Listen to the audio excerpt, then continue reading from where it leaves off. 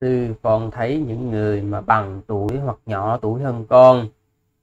Họ nghe pháp thì con lại khởi lên lòng ganh tị. Con xin sư chỉ cách để không khởi lên suy nghĩ như vậy nữa. Ờ, bản thân cái việc mà nó khởi lên cái lòng ganh tị đó nó là quả của việc mình nhìn thấy. Nó không phải là nhân cho nên là mình uh, không có tránh né nó được. Nhưng mà cái vấn đề đây là gì? Nó có hai nó nó có hai cách. Thứ nhất ha là mình thu thúc sáu căn lại. Khi mà thu thúc sáu căn lại đó thì mình không có sẽ không có nhìn mà không có nhìn thì mình sẽ không có nhìn một cái tầm bậy thì mình sẽ không có khởi tâm một cái tầm bậy. Cái thứ hai là khi nó khởi lên rồi thì mình tìm cách mình giải quyết nó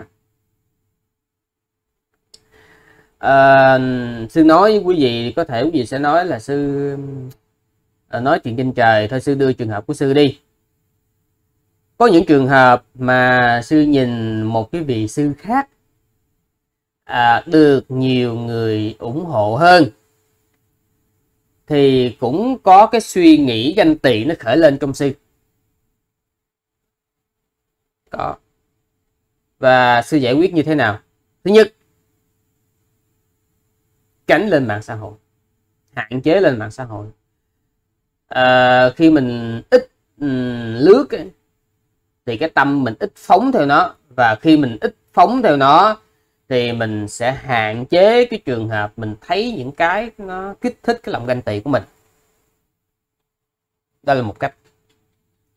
Cách thứ hai khi mà khởi lên cái lòng ganh tị đó phải phát hiện ra ngay lập tức. Mà quý vị hỏi làm sao để phát hiện ra cái lòng ganh tị của mình? Thì phải thực hành tứ niệm xứ. À, à, sư không dám nói mình là người thực hành miên mật. Um, có chứng đắc có sở chứng cái gì hết. À, thành ra là có lẽ có lẽ là có trường hợp mà sư ganh tị mà sư không biết sư không thấy nhưng mà bây giờ sư nói trong những trường hợp sư thấy, sư phát hiện ra được ha, tức là khi lỡ nhìn thấy và phát hiện ra à mình đang ganh tị. Sư làm cái gì? Đầu tiên, thừa nhận. Thừa nhận là cái tâm ganh tị nó xuất hiện. Cái thứ hai, tiếp theo đó, giải quyết nó bằng cách nào? Bằng cách là nghĩ đó uh, mỗi người có duyên. Uh, nếu như là cái vị này là một cái vị tu hành mà đàng hoàng ấy thì mình hiểu là uh, cái vị này là phải trải qua rất là nhiều những cố gắng rất nhiều những cái nỗ lực và rất nhiều những khó khăn chắc trở. Chứ phải đơn giản mà vị đó được như vậy đâu nha. Muốn được quần chúng ủng hộ á nhìn nhận á, là vì đó cũng phải trải qua rất là nhiều chuyện chứ không phải là tự nhiên mà được. Mà những cái khó khăn đó mình đâu có trải qua mình đâu có biết. Mình chỉ thấy có cái trước mắt. Thành ra đó vị đó xứng đáng với cái mà vị đó đã bỏ công sức ra. Nhờ như vậy đó tránh được cái lòng ganh tị. Ờ, cái đó là cái cách của sư ừ. à, hoặc là mình có thể hiểu đó là vị này đang tạo phước. Và vị này đang cố gắng để mà giúp mình và giúp người khác. Thì à, như vậy mình sẽ tùy hỷ. Mình vui với cái à, khả năng của vị đó. Đấy. Đó cũng là một cách.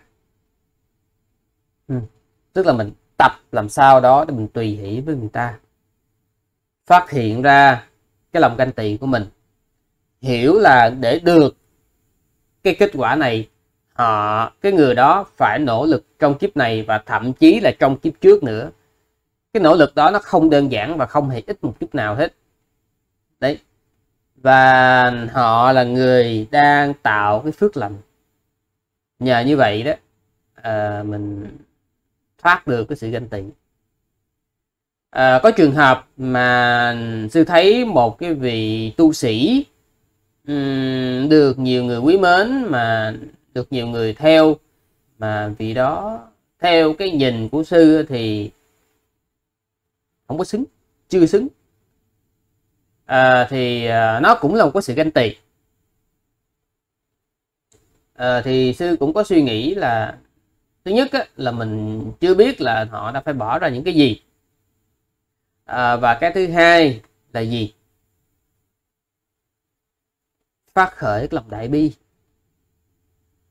Tức là thương những con người mà vì danh vì lời chạy theo quần chúng để mà được những cái đó.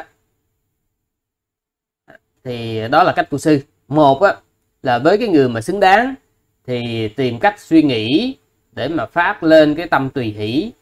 Còn với người mà không xứng đáng thì suy nghĩ để phát khởi lên cái lòng đại bi. Nhờ như vậy trong những trường hợp mà cá nhân sư phát hiện ra là mình có cái lòng có cái lòng ganh tị đó à, thì có cách để giải quyết. Ừ. thì quý vị cũng có thể áp dụng cách tương tự như vậy.